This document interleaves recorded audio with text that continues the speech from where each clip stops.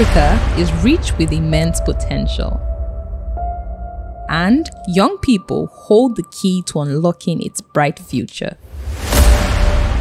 If you are young, then you are useful.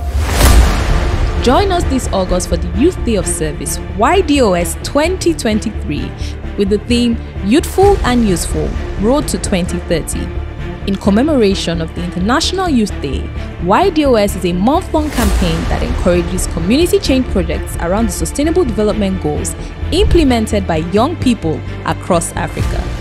How do you participate? Visit www.youthdayofservice.org to register or volunteer for a project. You can also follow us on Instagram, TikTok, Facebook, and Twitter at Youth Day of Service for real time updates. YDOS 2023 Be useful and useful.